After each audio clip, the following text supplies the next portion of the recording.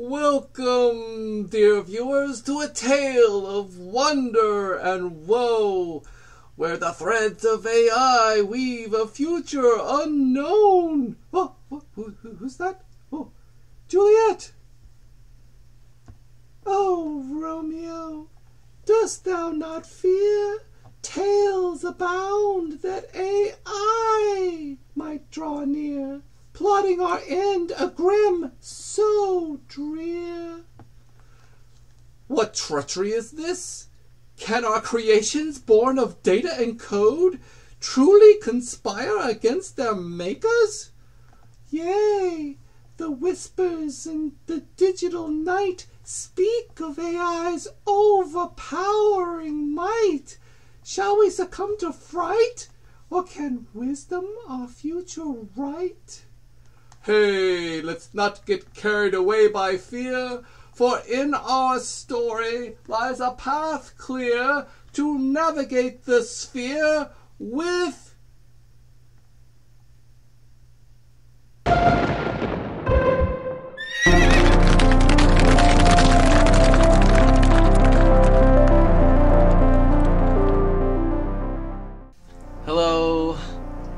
glad you're here today we're gonna be talking about the scary stuff of AI, and hopefully, uh, it'll be less scary. Uh, I mean, there's just so much going on in the world right now. Uh, my kids are telling me, "Hey, uh, we're seeing lots of uh, vitriol. I don't. There's a lot of heart, heartfelt hatred towards AI, and uh, that really makes me want to."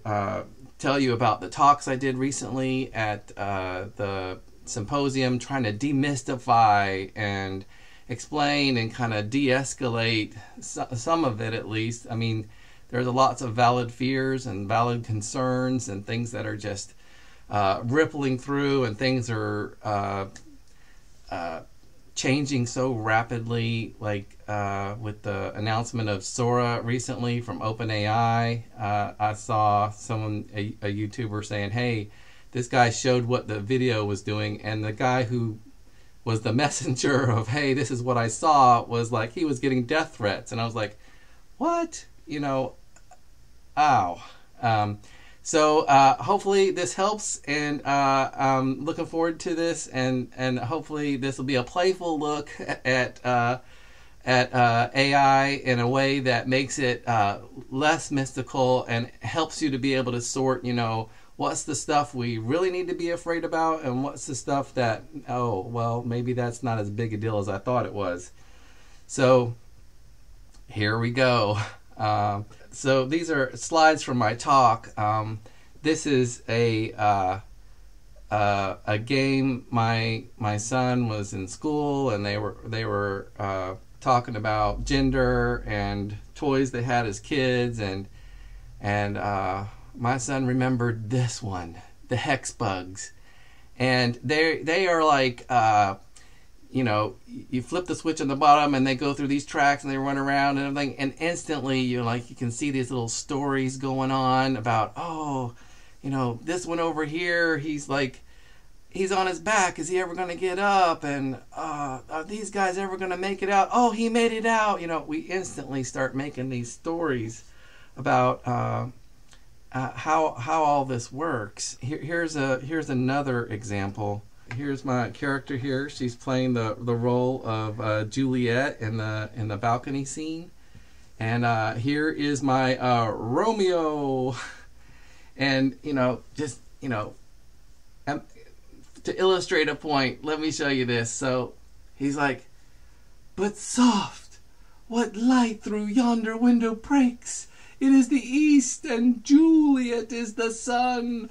Arise, fair sun, and kill the envious moon, who's already sick and pale with grief, that thou, her maid, art far more fair than she. Her vestal livery is but sick and green, and none but fools do wear it.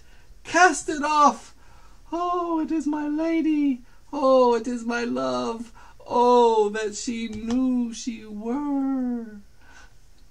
So in that little moment there, we uh, just just take a minute to to take a look at, at what we did there and just you, you don't even i mean you don't even realize how great you are at personification know here is shakespeare and he is personifying characters that are normally personified by actors but are instead personified by Barbie dolls or, or dolls that are that personify a, a child's imagination, but you could hot swap it really easily.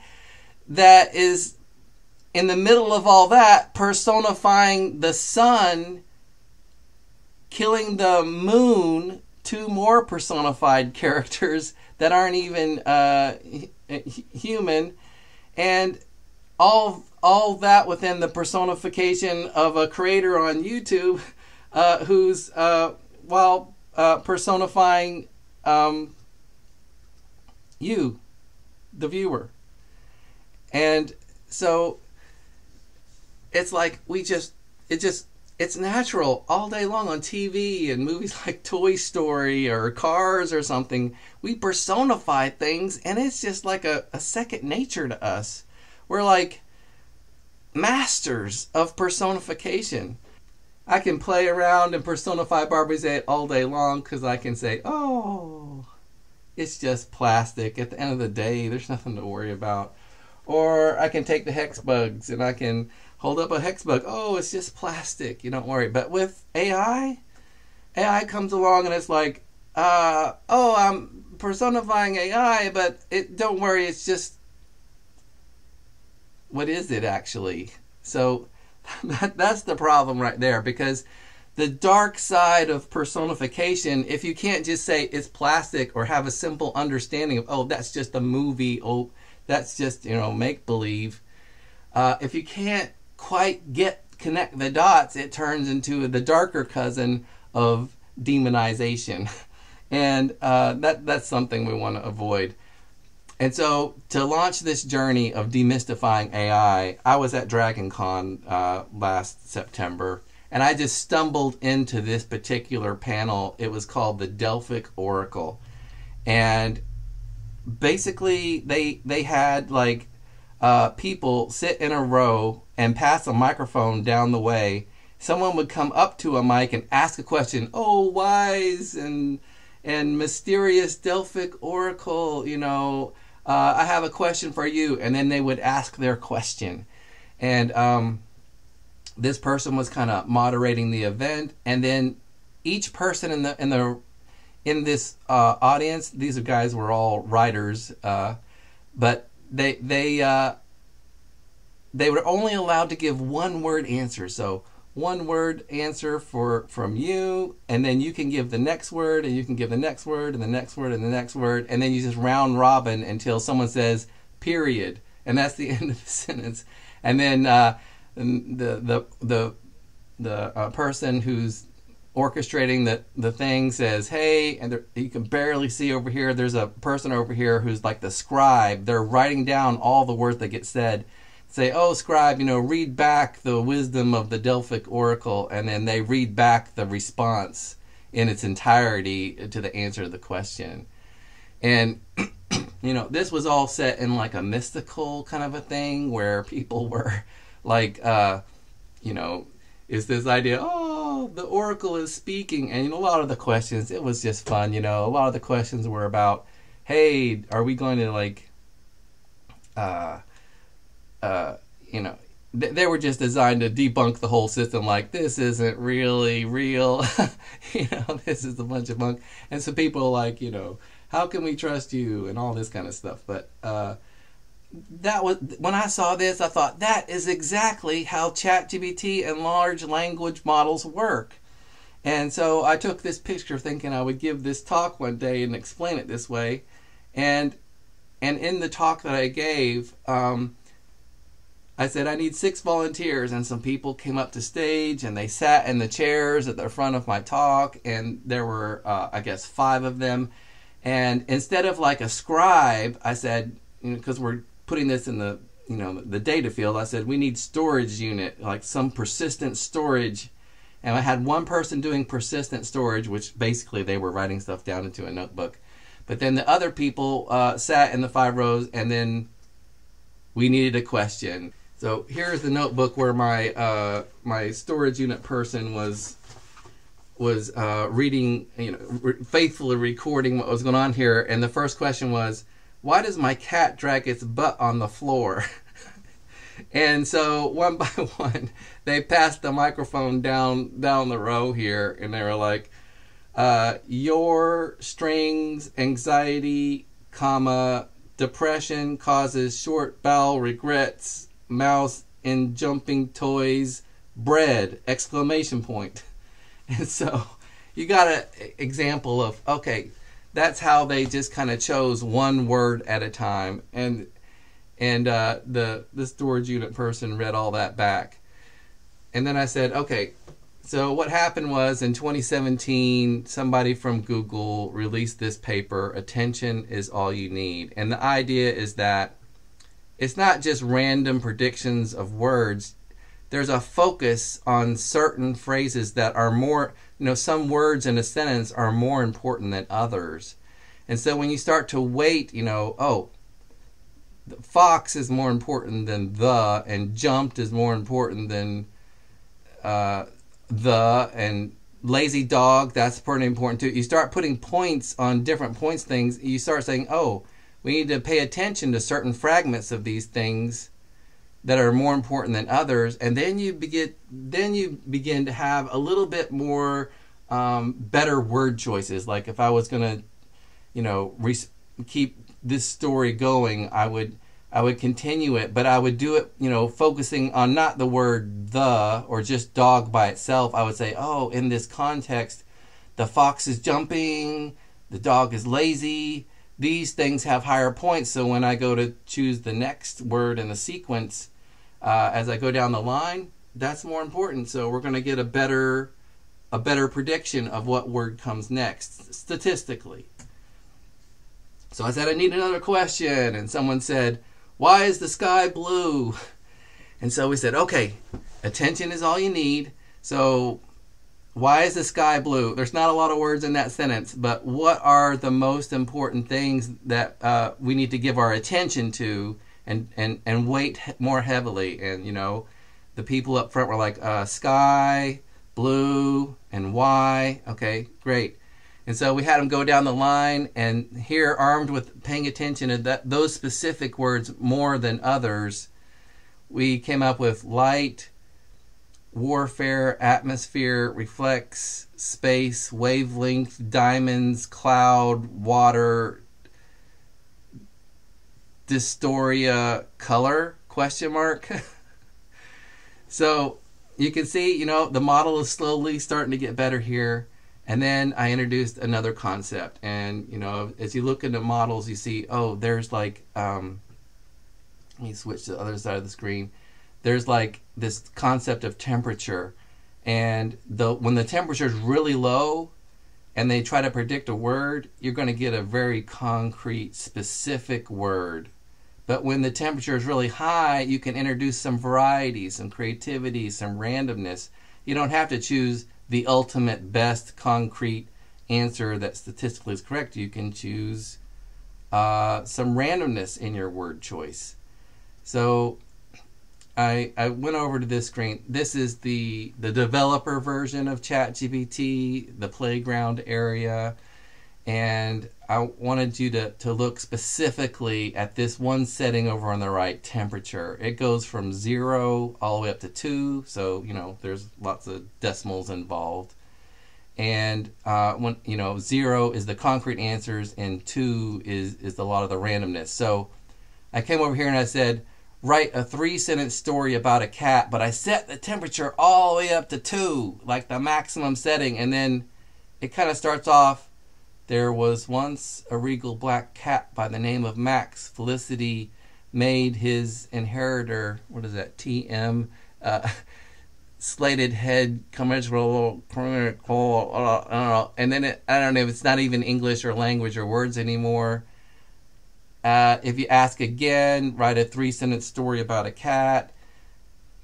It gave this answer. You ask again, and it just, it, it almost starts out kind of sensical until it just, it just evolves into just random chaos stuff and other characters and things. Uh, so I I said, okay, turn the temperature all all the way up to two, and I had my people go down the line, and they were, and then someone asked, what is the meaning of life? And we said, okay, attention is all you need. What's the key things we want to focus on here? And they're like meaning, life, and then they they they ran through it with the temperature all the way up to two, where it's just say the first thing that comes to your mind, basically. And it, they were like Beatles, Jesus, disco, sabotage, love. Oh no, that wasn't sabotage. It's gobbledygook, love, math, uh, and Vince Mars, holy shifter. I mean, sorry, software package. I was like, okay, yeah, we get the idea. Just go ahead and say period. And they're like, football, period. Okay. So then I was like, okay, what if we set the temperature all the way down to zero? Then we say, write a three sentence story about a cat. And then it's like, Fluffy the cat was a curious feline who loved to explore. One day she ventured into the neighbor's yard and discovered a hidden garden filled with colorful flowers. Fluffy spent the whole afternoon frolicking in the garden, making it her new favorite spot. So, okay. But if we ask this question with the temperature set to zero again, dun, dun, dun, the exact same response. Ask it again, the exact same response. Ask it again, the exact same response, over and over again. And it, and you know, how I interpret this is if you take all the training data from all that's in the model that's come before, and you statistically say, what would come next after write a three sentence story about a cat, period. Statistically, out of all the stories that have been told where we've focused our attention to, you know, cats and stories and, and, and, and we use the attention is all you need, if you go there statistically, the very first thing that comes back right now, how the model is currently trained, is fluffy. There's no randomness. The temperature is zero. Fluffy is the right answer, calculated by a zillion computers. And then the next the next word that or phrase, it could be just the or the cat. Um, statistically, the next thing that would come along is the cat or the, and so on and so forth. And it's like all the data is voting word by word statistically what would come back and it ends up with this very specific sentence that doesn't vary all the way to the last period of this little response it, it's like a calculated answer so you know that doesn't seem very ai like to me at all i mean it's like a calculator except instead of numbers, you've got letters in there too. And if you calculate kabillion, gazillion, uh, quadrillion, billion over here, and you add, you know, these particular letters on the end, there does some number crunching, and these are the the answers that come out. So, to me, that one spot right there kind of says, well, that doesn't sound very artificial or intelligent. But let, us go on. So I, I said, okay don't set the model all the way down to zero for this next question. Uh, if you if you as a person were to have to calculate the exact word that would come up, the ultimate word from all the books and everything you've ever read in your lifetime, or everything you've ever written, all your language experience, you would spend your entire life coming up with the perfect word and doing all that calculative work. Just instead of going setting the, the temperature all the way to zero, let's raise it up to like 0.4. And then I asked for a question, and they were like, uh, What can AI do in three years? And so I was like, Pre training. And they're like, Okay, we're, we're, attention is all you need. We're looking at AI and do and three years. And the response they came up with, if they were thinking about a little bit harder, it calculate massive amounts, list, solve, equate, and equate, period. So it's like, okay. Um, and and that that's where they took it. And then I gave like a final question. I wanted to really challenge our model before we moved on. I was like, you know, I've got kids that are like school age, going into college, and I want to know, you know, what is the thing that uh, they can hope for? What should we advise? should we give to the next generation headed into the job market?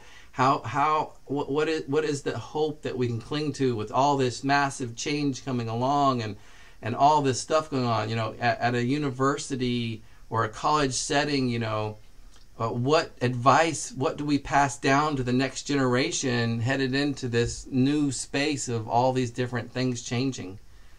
And I said, okay, attention is all you need. You know, what what are the things in my question here that you guys can see that um, that we need to focus on and, and give our attention to? And they were like, uh, advice to upcoming generation, um, direction, focus, uh, the future.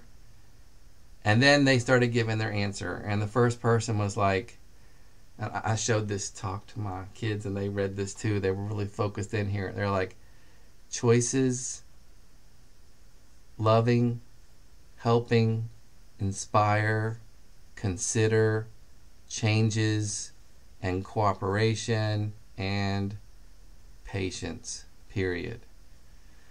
And uh, you know, woohoo! It's it's amazing what can can come from the model.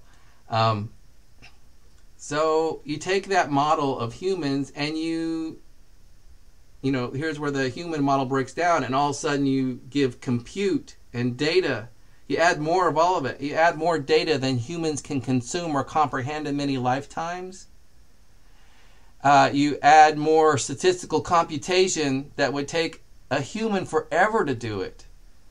And then you do it at lightning fast speeds that it's just appearing on the screen as fast as you can say it. And you know, even if even if it wasn't perfect, it's fast, and that that kind of beats out some of the imperfections because you're not spending forever uh, trying to come up with with something and then it, you're adding more continuous growth. You know, scientists keep solving more and more issues. Um, so they're solving, you know, all these things that are, are making the statistical data not so useful. LLMs for everything. So uh, people were like, oh, this language model stuff, you can use it for everything. In the end, lots of things are just languages. MRIs, that's kind of a language. Pictures, you know, when you digitize it, is kind of a language. Wi-Fi, whale song, foreign languages. The DNA in your body is kind of like a language. Molecular compounds, audio, uh, that dial, audio dialogue or audio music. Uh, all you have to do is you digitize it into numbers. Then you tokenize it, you know, or these tokens are something that that represent the distinct little pieces, be it, you know, pixels in a picture or, you know, words in a sentence or little patterns you see in little little uh, MRI readings. You, so those are the tokens, and then you say, okay, prioritize the tokens. Some of these tokens in the data are more important than others, and you start to find out, you know, oh, these tokens cause these tokens, and these tokens are more important because these this shows up in the pattern and and then you weight all the different little elements so that you can find out which are the important things here that help predict what comes next when you when you look at the data. And once you have the prioritization of tokens you're ready to ask questions. And so people are like well there's two camps some people it's like, wait, we solved everything with LLMs. Uh, we solved AI. Uh, but there's another camp that says, no, language is only a part of intelligence. Statistical probabilities do not equal intelligence or or facts. And so, like, th- this guy, um, he's got a YouTube video where he was explaining, you know, what's wrong with LLMs and what should we be building instead. Tom Dederich, or Dieterich, and um, he based a lot of what uh, uh, uh, what he put on this slide of his talk on this um, uh, paper from Mahowald, Mahowald and uh, dissociating language and thought in large language models. And you know, here's an abstract. I just look, googled it, and you know, here's the abstract. But look at this particular sentence. We ground this distinction in human neuroscience, showing that formal and functional competence rely on different neural mechanisms. And so, you know, language models, there is a part of our brain that does language understanding and generation of language. A specific part of our brain devoted to that. But there are these other parts of our brain that are devoted to these other things that make up our intelligence. Like there's a part of our brain that goes to work when we're planning stuff. There's a part of our brain that goes to work when we're like monitoring all the other parts of our brain. The metacognition the self-monitoring the orchestrating of it all. There's a there's a part of our brain devoted to that.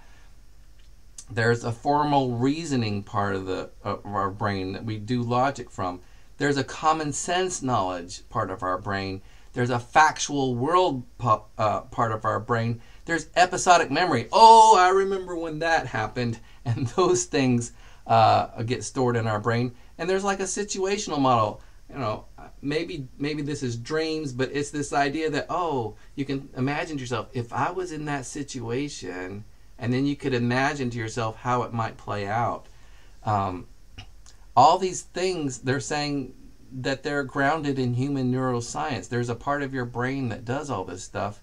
And so there's a lot of work that that that needs to be done you know not just language models but we need ways to compensate for all these other parts of our brain that contribute to knowledge as well before we can say we solved AI. So, going back to personification, before we said, you know, if you don't know what's going on under the covers, you, you know, personification can turn into demonization. You can't just say, oh, these Barbies, they're plastic. Uh, but with AI, when we personify, we can say we can personify because it's just statistics. You know, fluffy is the first word chosen. So I, hope that gives some solace. So you've heard of AI, but have you heard of AD? It stands for uh, artificial dancing. And if you want to follow along, you hold up your hand like this, and you take your two fingers like this, and then you've got artificial dancing. Woohoo! And so, like, oh yeah, woo!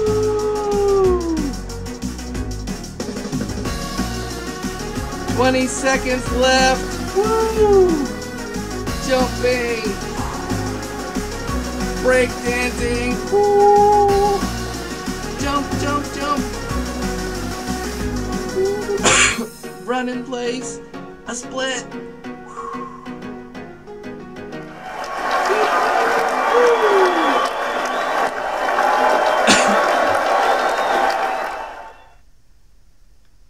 so, yeah, that was clearly artificial because, you know, that wasn't an awkward moment at all. well, maybe it was awkward. It wasn't, you know, artificial in that. If we had been really dancing, we would have done it with our feet, not our fingers. So it's artificial, right? Well, I mean, you know, people could invent a invent a dance move where they do like this on the dance floor if they wanted to. It would still be considered dancing.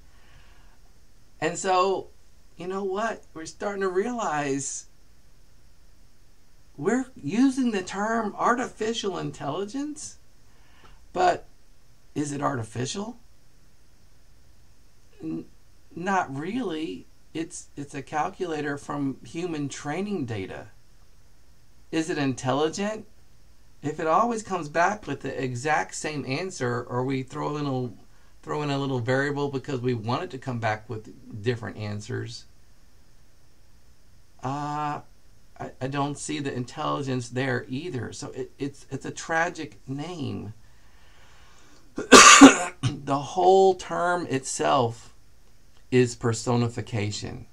It's like the data scientists who build the computer programs, they're like, hey, this feels good if I want to call it artificial intelligence and pretend like it's a a real entity. Like I can actually personify it. But it doesn't help you understand uh, how it works. It's great if you want to enjoy it and play around and have fun like you do with your Barbies but when you want to understand how it works, you want to understand how the plastic comes together, then personification just kind of goes out the window. If you went to a manufacturing toy company plant that was making the Barbies, it, it wouldn't look like you know you were birthing artificial intelligence or or real people. I'm sure you'd see the plastic pouring in and molding and stuff like that. So the term itself is a tragic name because it's not artificial and it's not intelligent at the end of the day. Um,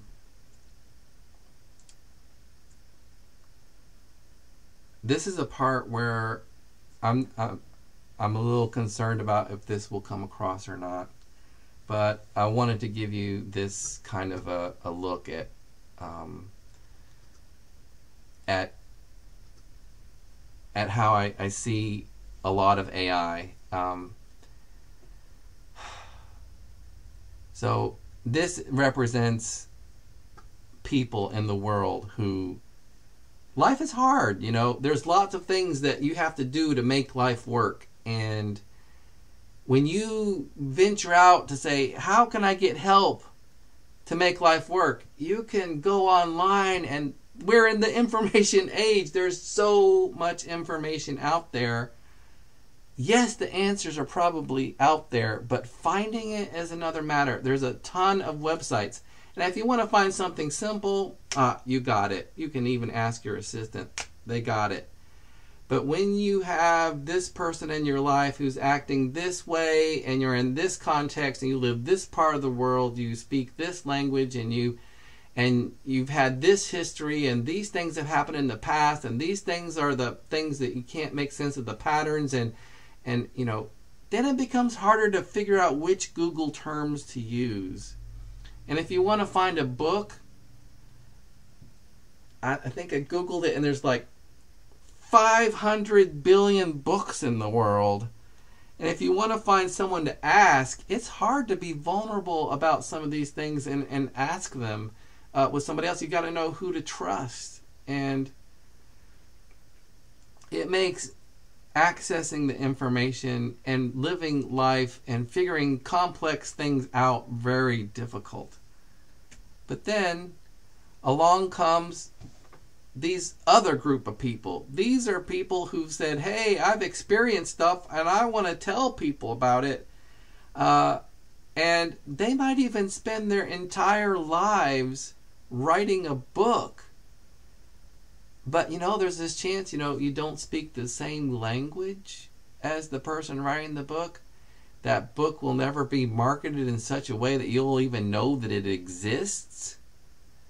Um, and that book probably takes years of experience and life things that happened and writing things down and organizing it to put it together and you know what? These people, they make a, a decision. I'm, I know my book may never find all the people who would actually benefit from it, but I'm gonna write it anyways. And they make this courageous choice to spend a large portion of their lives writing things down for the benefit of other people. And for the first time in history, with with the technology that we're experiencing with AI, in some small, tiny way, these two people are coming together. It's like the people in history have written all these things down again and again. They probably a lot of overlapping information and it's coming together in a way that word by word all the people who wrote on that topic they're raising their hand and they're voting choose this word next that'll be most helpful. Choose this word next that'll be most helpful.